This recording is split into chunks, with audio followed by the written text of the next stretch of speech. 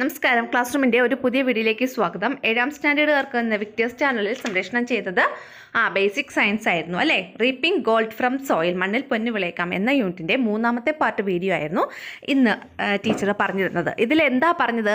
ആ vegetative പ്രൊപ്പഗേഷന്റെ layering എന്ന് പറയുന്ന മെത്തേഡ് നമ്മൾ കഴിഞ്ഞ ക്ലാസ്സിൽ പഠിച്ചു. ഈ ക്ലാസ്സിൽ ഇന്നത്തെ ക്ലാസ്സിൽ പറഞ്ഞത് ഗ്രാഫ്റ്റിംഗ് ബട്ടിംഗ് ഈ രണ്ട് മെത്തേഡ്സ് എങ്ങനെ ചെയ്യാം എന്നതിനെക്കുറിച്ചാണ് അപ്പോൾ ഈ വീഡിയോയിൽ നമ്മൾ ഏറ്റവും അവസാനമാണ് ഇതിൽ നമുക്ക് ഒരു ആക്ടിവിറ്റി ടീച്ചർ ടെക്സ്റ്റിൽ ആക്ടിവിറ്റി തന്നിട്ടുണ്ടായിരുന്നു. അത് ചെയ്തിട്ടുള്ളത്. ഒരു ടേബിൾ തന്നിട്ട് ചെയ്യാനുള്ള ആ ആക്ടിവിറ്റി അപ്പോൾ ഫസ്റ്റ് നമുക്ക് ഗ്രാഫ്റ്റിംഗ് എന്താണെന്ന് പഠിക്കാം. Grafting is the method to produce superior quality plantlets by joining stems of two plants of the same species വളരെ ഇമ്പോർട്ടന്റ് ആയിട്ടുള്ള ഒരു ടേമാണ് സെയിം സ്പീഷീസ് എന്നുള്ളത്. ഒരേ സ്പീഷീസിൽപ്പെട്ട രണ്ടു സസ്യങ്ങൾ തമ്മിലാണ് നമ്മൾ ഗ്രാഫ്റ്റിംഗ് എന്ന് പറയുന്ന വെജിറ്റേറ്റീവ് പ്രൊപ്പഗേഷൻ മെത്തേഡ് ചെയ്യുന്നത്. അപ്പോൾ എന്താണ് ഗ്രാഫ്റ്റിംഗ് എന്ന് നോക്കാം. ഗ്രാഫ്റ്റിംഗ് ഇസ് ദ മെത്തേഡ് ഒരു മെത്തേഡാണ് to produce superior quality plantlets വളരെ സുപ്പീരിയർ വളരെ മികച്ച ഇനം പ്ലാന്റ്ലെറ്റ്സ് പ്ലാന്റ്ലെറ്റ്സ് എന്ന് വെച്ചാൽ തൈച്ചെടികൾ ഉൽപ്പാദിപ്പിക്കുന്ന പ്രൊഡ്യൂസ് ചെയ്യുന്ന ഒരു മെത്തേഡ് എങ്ങനെയാണ് ഉൽപ്പാദിപ്പിക്കുന്നത്? ബൈ ജോയിനിങ് ആ ജോയിൻ ചെയ്യുന്നു. എന്തോ എന്താണ് ജോയിൻ ചെയ്യുന്നത്? സ്റ്റെംസ് ഓഫ് ടു പ്ലാന്റ്സ് ആ രണ്ട് സസ്യങ്ങളുടെ സ്റ്റെംസ് കാണ്ടങ്ങൾ പരസ്പരം യോജിപ്പിച്ച്. ഓഫ് ദ സെയിം സ്പീഷീസ് ആ ഇവിടുത്തെ ആ രണ്ട് പ്ലാന്റ്സും ആ സെയിം സ്പീഷീസ് ആയിരിക്കണം. ഒരേ വർഗത്തിൽപ്പെട്ട ഒരേ ഫാമിലിയിൽപ്പെട്ടതായിരിക്കണം കേട്ടോ? ഇനി ഈ ഗ്രാഫ്റ്റിങ്ങിൽ നമ്മൾ പഠിക്കാനുള്ള രണ്ട് ടേംസ് ആണ് സ്റ്റോക്ക് സയോൺ എന്നിവ. The rooted plant selected for grafting is called stock അതായത് ഇവിടെ ഒരു റൂട്ടുള്ളൊരു പ്ലാന്റ് വേണം പിന്നെ വേറൊരു പ്ലാന്റിന്റെ സ്റ്റെമ്മും വേണം.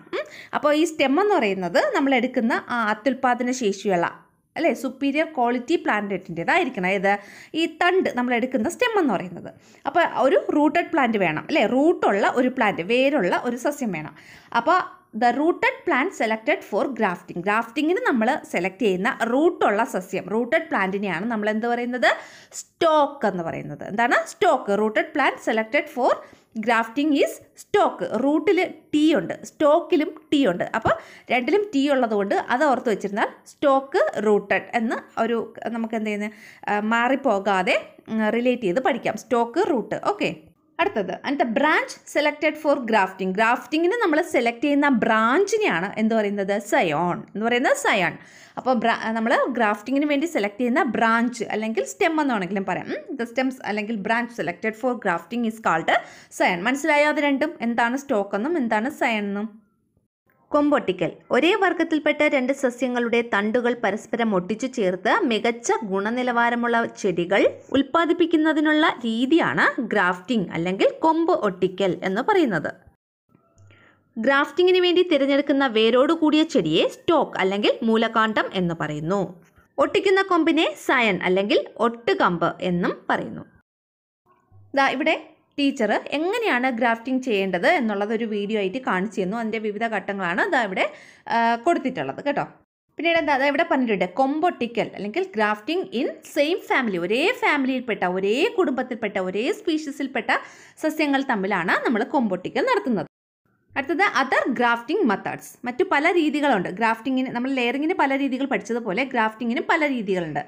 അതാണ് ഇവിടെ പറഞ്ഞിട്ടുള്ളത്. ഒന്നാമത്തത് വെഡ്ജ് ഗ്രാഫ്റ്റിംഗ് കണ്ടോ? അതിന്റെ ഇതെങ്ങനെയാണ് ചെയ്യാനുള്ളതെന്ന് ഇവിടെ പറഞ്ഞിട്ടുണ്ട്. രണ്ടാമത്തത് സ്പ്ലൈസ് ഗ്രാഫ്റ്റിംഗ് സ്പ്ലൈസ് ഗ്രാഫ്റ്റിംഗ് അടുത്തത് മൂന്നാമത്തത് സൈഡ് ഗ്രാഫ്റ്റിംഗ് അടുത്തത് അല്ലെങ്കിൽ വശം ഒട്ടിക്കൽ എന്ന് പറയും. കേട്ടോ? അല്ലെങ്കിൽ വശം ഒട്ടിക്കൽ. അടുത്തത് ബാർക്ക് ഗ്രാഫ്റ്റിംഗ്. അത് ബാർക്ക് ഗ്രാഫ്റ്റിംഗ് എന്ന് തന്നെയാണ് മലയാളത്തിലും പറയുന്നത്. അടുത്തത് സാഡിൽ ഗ്രാഫ്റ്റിംഗ് അല്ലെങ്കിൽ സാഡിൽ ഗ്രാഫ്റ്റിംഗ്. രണ്ടും ഒരേ പേര് തന്നെയാണ്. Saddle grafting. ഏറ്റവും അവസാനത്തത് അപ്രോച്ച് ഗ്രാഫ്റ്റിംഗ് അല്ലെങ്കിൽ സമീപന ഒട്ടിക്കൽ. ഇത്രയാണ് ഗ്രാഫ്റ്റിങ്ങിന്റെ വിവിധ രീതികൾ. അടുത്തതായിട്ട് ഗ്രാഫ്റ്റിംഗ് ഫലപ്രദമായി ചെയ്യാൻ സാധിക്കുന്ന സസ്യങ്ങൾ ഏതൊക്കെയാണ് എന്നുള്ളതാണ് ഇവിടെ പറഞ്ഞിട്ടുള്ളത്. ആ ജാക്ക് ട്രീ പ്ലാവ് ചിക്കൂസ് സപ്പോട്ട ലെമൺ ട്രീ നാരകം വാട്ടറി ആപ്പിൾ ചാമ്പ orange orange mulberry mulberry tomato തക്കാളി ബ്രിഞ്ചാൾ വഴുതന റോസ് റോസ ഹിബിസ്കസ് ചെമ്പരത്തി. ഈ പറയുന്ന സസ്യങ്ങളിലെല്ലാം ഗ്രാഫ്റ്റിംഗ് ഫലപ്രദമായിട്ട് ചെയ്യാൻ നമുക്ക് സാധിക്കും. അടുത്തത് red steps to graft a branch of a variety mango tree on the sapling of a indigenous variety mango tree അതായത് ഇൻഡിജിനസ് വെറൈറ്റി മാംഗോ ട്രീ എന്ന് വെച്ചാൽ നമ്മുടെ നാടൻ മാവ്. നാടൻ മാവിൽ നാടൻ മാവിന്റെ തൈയിൽ നമ്മൾ മറ്റൊരു നല്ല വെറൈറ്റി മികച്ച ഒരു മാ മാവിനെ ഗ്രാഫ്റ്റ് ചെയ്യുന്നത് എങ്ങനെയാണ് എന്നുള്ളതിന്റെ ഓരോ സ്റ്റെപ്പ് ബൈ സ്റ്റെപ്പായിട്ടുള്ള കാര്യങ്ങളാണ് ഇവിടെ എഴുതേണ്ടത്. അപ്പോൾ ഗ്രാഫ്റ്റിംഗ് സ്റ്റെപ്പ് ബൈ സ്റ്റെപ്പായിട്ട് നിങ്ങൾക്ക് എഴുതാൻ വേണ്ടിയിട്ട് ടീച്ചർ ഒരു പ്രവർത്തനം തന്നിട്ടുണ്ടായിരുന്നു. അപ്പോൾ അതിന് നിങ്ങൾക്ക് ഇത് എഴുതാവുന്നതാണ്. ഒന്നാമത്തെ step peel off the bark from the facing sides of both the stock and scion in three and half centimetre length അതായത് peel off the bark bark എന്ന് വെച്ചാൽ എന്താണ്? തൊലി. തൊലി പീൽ ചെയ്യുക ചെത്തിക്കളയുക from the facing sides of both the stock and scion ആ സ്റ്റോക്കിന്റെയും സയണിന്റെയും phasic face മുഖാമുഖം നിൽക്കുന്ന ആ സൈഡിന്റെ തൊലി ചെത്തി മാറ്റുക. അതാണ് ഒന്നാമത്തെ പോയിന്റ് എന്ന് പറയുന്നത്. ഇൻ എങ്ങനെയാണ്? In three and half centimetre length മൂന്നര സെന്റിമീറ്റർ നീളത്തിൽ. രണ്ടിന്റെ മൂന്നര സെന്റിമീറ്റർ നീളത്തിൽ ആ സ്റ്റോക്കിന്റെയും സൈഡിന്റെയും ഫേസിംഗ് സൈഡിലെ തൊലി ചെത്തി മാറ്റുക. ഒന്നാമത്തെ പോയിന്റ് മനസ്സിലായോ അത്? രണ്ടാമത്തെ point bring the peeled off portions of stock and scion in contact with each other bring bring എന്ന് വെച്ചാൽ കൊണ്ടുവരിക. The peeled off portions of stock and scion സ്റ്റോക്കിന്റെയും സയന്റെയും പീൽഡ് ഓഫ് പോർഷൻ എന്ന് വെച്ചാൽ ആ ചെത്തി മാറ്റിയ portion in contact with each other അവ പരസ്പരം കോണ്ടാക്റ്റിൽ കൊണ്ടുവരിക. പരസ്പരം ചേർത്ത് വയ്ക്കുക എന്നുള്ള മീനിങ് ആണ്. Wrap them together firmly with a jute twine ഒരു ജൂട്ടിന്റെ ടോയിൻ ഉണ്ടല്ലോ അതെടുക്കുക. ജൂട്ട് ടോയിൻ എന്ന് വെച്ചാൽ ചണ ചണത്തിന്റെ വള്ളി. ആ ആ ചണത്തിന്റെ വള്ളി അല്ലെങ്കിൽ ചാക്കുനൂലെന്നും പറയാം. അത് വെച്ചിട്ട് എന്ത് ചെയ്യണം? റാപ്പ് ചെയ്യുക. പൊതിഞ്ഞ് കെട്ടുക. പൊതിയ. റാപ്പ് ദം ടുഗദർ അവ അവയെ രണ്ടിനെയും കൂടി ആ പൊതിഞ്ഞ് കെട്ടുക. ഫേംലി ഒരുപാട് ഭയങ്കര ശക്തിക്കല്ല ഫേംലി ആയിട്ട്. കുറച്ച് ടൈറ്റായിട്ട്. ഇങ്ങനെ ജൂട്ട് ടൊയിൻ വെച്ചിട്ട് പൊതിഞ്ഞ് കെട്ടുക. ഇതാണ് രണ്ടാമത്തെ സ്റ്റെപ്പ് എന്ന് പറയുന്നത്. ഈ രണ്ട് സ്റ്റെപ്പും മലയാളം മീഡിയംകാർ എഴുതാനുള്ളതാണ് ഇവിടെ പറഞ്ഞിട്ടുള്ളത്. സയനിലും സ്റ്റോക്കിലും മൂന്നര സെന്റിമീറ്റർ നീളത്തിൽ ഒരു വശത്ത് നിന്ന് തൊലി ചെത്തി നീക്കുക. ഒട്ടിക്കേണ്ട കൊമ്പ് വളച്ച് സ്റ്റോക്കിനോട് ചേർത്ത് വയ്ക്കുക. സയനിലെയും സ്റ്റോക്കിലെയും മുറു മുറിപ്പാടുകൾ ചേർത്ത് വച്ച് ചാക്കുനൂൽ കൊണ്ട് വരിഞ്ഞ് കെട്ടുക. അടുത്തത് cover it with a wax cloth ഒരു മെഴുക് തുണിയോ വാക്സിന്റെ ക്ലോത്ത് അതാണ് ആ മെഴുകു തുണിയോ ഓർ പ്ലാസ്റ്റിക് ടേപ്പ് അല്ലെങ്കിൽ ഒരു പ്ലാസ്റ്റിക് ടേപ്പോ വെച്ച് എന്ത് ചെയ്യണം? ഇതിനെ കവർ ചെയ്യണം. പൊതിഞ്ഞ് കെട്ടണം. ആഫ്റ്റർ വൺ മന്ത് ഒരു മാസം കഴിഞ്ഞിട്ട് cut partially the stock above the covered area ആ കവർ ചെയ്തിട്ടുള്ള ഏരിയയുടെ മുകൾ ഭാഗം വച്ചിട്ട് എന്ത് ചെയ്യണം? ആ സ്റ്റോക്കിന്റെ പോർഷൻ കട്ട് ചെയ്ത് കളയണം. ആൻഡ് ദ സയൺ ബിലോ പിന്നെ ഈ സയണിന്റെ എന്താണ്? താഴത്തെ ഭാഗവും. ആ പൊതിഞ്ഞ് കെട്ടിയിരിക്കുന്നതിന്റെ താഴത്തെ ഭാഗത്തിൽ ഇവിടെ മാർക്ക് ചെയ്തിട്ടുണ്ട്. അത് എങ്ങനെയാണെന്നുള്ളത്. അവിടെ വെച്ചും കട്ട് ചെയ്ത് കളയുക സയന്റെ താഴത്തെ ഭാഗവും സ്റ്റോക്കിന്റെ മുകൾ ഭാഗവും കട്ട് ചെയ്യുക ആ മറ്റൊരു കാര്യം ഇവിടെ ശ്രദ്ധിക്കണം. ആ മുഴുവനും അല്ല കട്ട് ചെയ്യാൻ പറഞ്ഞിരിക്കുന്നത് കട്ട് പാർഷ്യലി പാർഷ്യലായിട്ട് അതായത് അതിന്റെ കുറച്ച് ഭാഗം മാത്രമേ കട്ട് ചെയ്ത് കളയാവൂ കേട്ടോ. അതാ ഇവിടെ ഫിഗറിൽ കാണിച്ചിട്ടുണ്ട്. കട്ട് പാർഷ്യലി ഭാഗികമായിട്ട് കട്ട് ചെയ്യാനാണ് പറഞ്ഞിട്ടുള്ളത് കേട്ടോ. ദെൻ അടുത്ത നാലാമത്തെ step wait for one more month ഒരു മാസവും കൂടി നമ്മൾ വെയിറ്റ് ചെയ്യുക. And cut and detach the part completely അതിനുശേഷം ആ ആ പകുതി ഭാഗം വെച്ച് മുറിച്ചിട്ടില്ല? അതിനെ മൊത്തത്തിൽ അങ്ങ് കട്ട് ചെയ്ത് ആ അതിനെ ഡിറ്റാച്ച് ചെയ്യുക. അതായത് അതിനെ പുതിയൊരു പ്ലാന്റായിട്ട് നമുക്ക് വളർത്താൻ വേണ്ടിയിട്ട് ഇനി അനുയോജ്യമായി. അടുത്ത sentence when it attains proper growth ശരിയായ ഒരു വളർച്ച അതിന് വന്നതിന് ശേഷം it can be replanted in in a more suitable place ആ ഇതിനെ നമുക്ക് ആ കുറച്ചുകൂടെ അനുയോജ്യമായ ഒരു സ്ഥലത്ത് കൊണ്ടുപോയി വീണ്ടും നടാവുന്നതാണ്. ഈ ചെടിച്ചട്ടിയിൽ നിന്ന് മാറ്റാവുന്നതാണ്. Remove any new branches sprouting on the stock സ്റ്റോക്കിൽ നിന്ന് വേറെ ഏതെങ്കിലും പുതിയ ബ്രാഞ്ചസ് വരുന്നുണ്ടെങ്കിൽ അതിനെ കൊമ്പുകളൊക്കെ വരുന്നുണ്ടെങ്കിൽ അതിനെ മുറിച്ച് കളയണം. അത്രയേ ഉള്ളൂ. സ്റ്റോക്ക് എന്ന് വെച്ചാൽ നമ്മുടെ റൂട്ടഡ് പ്ലാന്റ് ആണ്. അതായത് നാടൻ മാ മാവാണെങ്കിൽ മാവ് നാടൻ തൈയാണ് ഏത് ഈ നമ്മുടെ സ്റ്റോക്ക് എന്ന് പറയുന്നത്. അപ്പോൾ അത് അത് വളരാൻ പാടില്ല. നമ്മുടെ ഹൈ ക്വാളിറ്റിയുള്ള ആ തൈ മാത്രമേ വളർന്നു വരാവൂ. ആ ഒരു കൊമ്പ് മാത്രമേ വളർന്നു വരാവൂ. അതുകൊണ്ടാണ് ആ സ്റ്റോക്കിൽ എന്തെങ്കിലും മുകുളങ്ങളൊക്കെ വരുന്നെങ്കിൽ അതിനെ വെട്ടിക്കളയണമെന്ന് പറയുന്നത് കേട്ടോ. മലയാളം മീഡിയംകാർക്കുള്ളത് മെഴുകു തുണിയോ പ്ലാസ്റ്റിക് നാടയോ ഉപയോഗിച്ച് നന്നായി പൊതിയുക. ഒരു മാസം കഴിയുമ്പോൾ കെട്ടിനു മുകളിൽ സ്റ്റോക്കും കെട്ടിനു താഴെ സയനം പകുതി മുറിക്കുക. ഒരു മാസം കൂടി കഴിയുമ്പോൾ പൂർണമായും മുറിച്ചു മാറ്റുക. നന്നായി വളരാൻ തുടങ്ങുമ്പോൾ അനുയോജ്യമായ സ്ഥലത്ത് മാറ്റി നടാവുന്നതാണ്. സ്റ്റോക്കിൽ നിന്ന് ശിഖരങ്ങൾ വളരുന്നുണ്ടെങ്കിൽ അവ മുറിച്ചു മാറ്റണം. അടുത്തത് ഗ്രാഫ്റ്റിങ്ങിന് വേണ്ടിയിട്ടുള്ള materials. Materials required for grafting കൊമ്പട്ടിക്കൽ സാമഗ്രികൾ. ഏതൊക്കെയാണ്? ആ stock scion plastic cover jute twine knife. അപ്പോൾ നിങ്ങൾ ആ മലയാളം മീഡിയംകാർ സ്റ്റോക്ക് സയൺ പിന്നെ പ്ലാസ്റ്റിക് കവർ എന്ന് തന്നെ എഴുതാം. ജൂട്ട് ടോയിന് ചാ ചാക്കുനൂൽ നൈഫ് കത്തി. ഇത്രയും കാര്യങ്ങൾ. അപ്പോൾ അത്രയേ ഉള്ളൂ നമ്മുടെ ഗ്രാഫ്റ്റിംഗ് എന്ന് പറയുന്ന മെത്തേഡ് ഇനി നമ്മൾ പറയാൻ പോകുന്നത് ബഡ്ഡിംഗ് ആണ്. മുകുളം ഒട്ടിക്കൽ. അപ്പോൾ നമ്മൾ ഫസ്റ്റ് പറയാൻ പോകുന്നത് എന്താണ് ബഡ്ഡിംഗ് എന്നാണ്. Budding is the method to produce superior quality plantlets by fixing bud of a plant to the stem of the other plant of the same species എന്താണ് budding is the method to produce superior quality plantlets ആ മികച്ച ക്വാളിറ്റിയുള്ള plantlets അല്ലെങ്കിൽ തൈച്ചെടികൾ ഉൽപ്പാദിപ്പിക്കുന്ന ഒരു മെത്തേഡാണ് budding എന്ന് പറയുന്നത്. വെജിറ്റേറ്റീവ് പ്രൊപ്പഗേഷൻ മെത്തേഡ് തന്നെയാണ് നമ്മൾ പഠിച്ച ലെയറിങ് പോലെയും ഗ്രാഫ്റ്റിംഗ് പോലെയും. എങ്ങനെയാണ് ഈ ക്വാളിറ്റിയുള്ള പ്ലാന്റ്ലെറ്റ്സ് പ്രൊഡ്യൂസ് ചെയ്യുന്നത്? By fixing bud of a plant ഒരു പ്ലാന്റിന്റെ ബഡ് ഒരു പ്ലാന്റിന്റെ മുകുളം അല്ലെങ്കിൽ ബഡിനെ എന്ത് ചെയ്യുന്നു? To the stem of the other plant മറ്റൊരു പ്ലാന്റിന്റെ സ്റ്റെമ്മിൽ കൊണ്ടുവന്ന് നമ്മൾ ഫിക്സ് ചെയ്യുന്നു. ഓഫ് ദ സെയിം സ്പീഷീസ് ഒരേ സ്പീഷീസിലായിരിക്കണം ഇത് രണ്ടെണ്ണം. അല്ലേ? ആ ബഡ് എടുക്കുന്നതും പിന്നെ കൊണ്ടുവന്ന് ഫിക്സ് ചെയ്യുന്നതും ആ രണ്ട് ചെടികളും ഒരേ സ്പീഷീസിൽപ്പെട്ടതായിരിക്കണം പെട്ടതായിരിക്കണം അതിനെയാണ് നമ്മൾ എന്ത് പറയുന്നത്? ബഡിങ് അല്ലെങ്കിൽ മുകുളം ഒട്ടിക്കൽ. അടുത്തത് റെഡ് സ്റ്റെപ്സ് ഓഫ് ബഡിങ് ബഡിങ്ങിന്റെ സ്റ്റെപ്സ് എഴുതാനാണ് പറഞ്ഞിട്ടുള്ളത്. അപ്പോൾ നമുക്കത് എഴുതിയാലോ?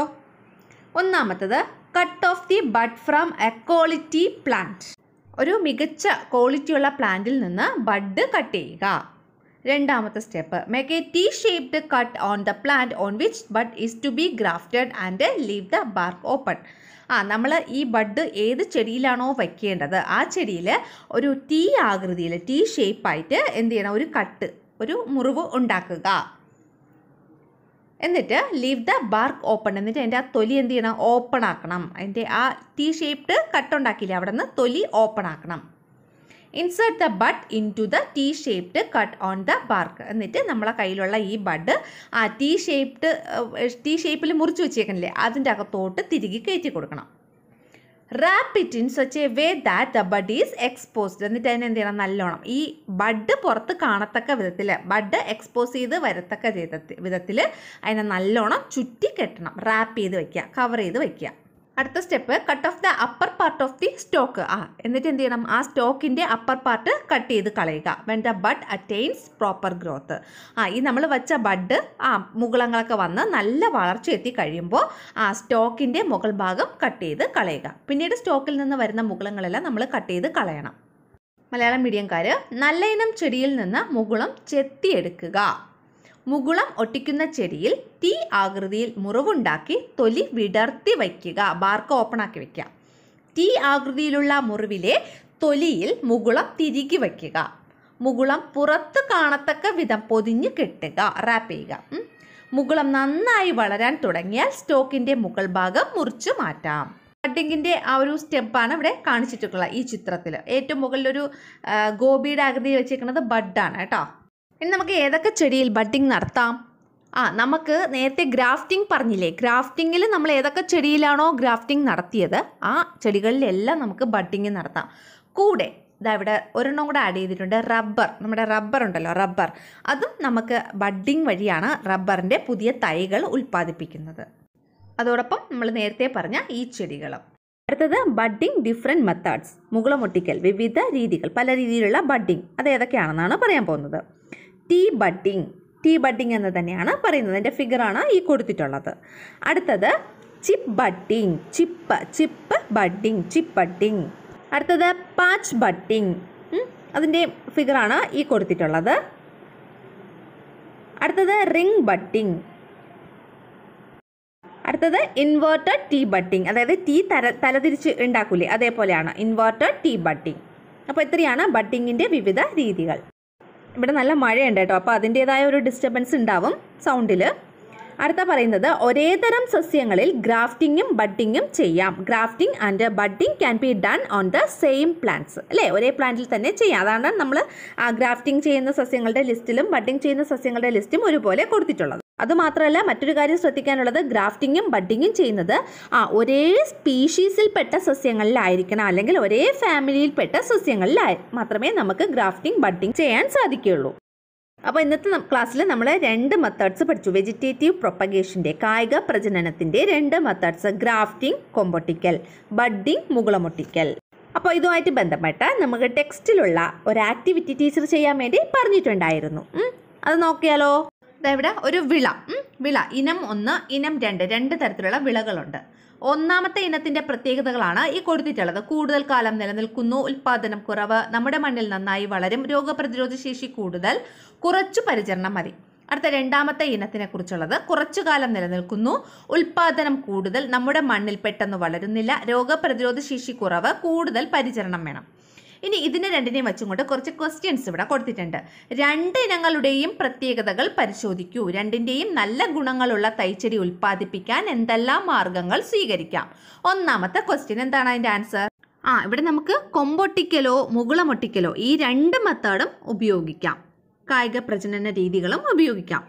രണ്ടാമത്തെ ക്വസ്റ്റ്യൻ ഏതിനം ചെടിയെ സ്റ്റോക്കായും ഏതിനം ചെടിയെ സയനായും തിരഞ്ഞെടുക്കും?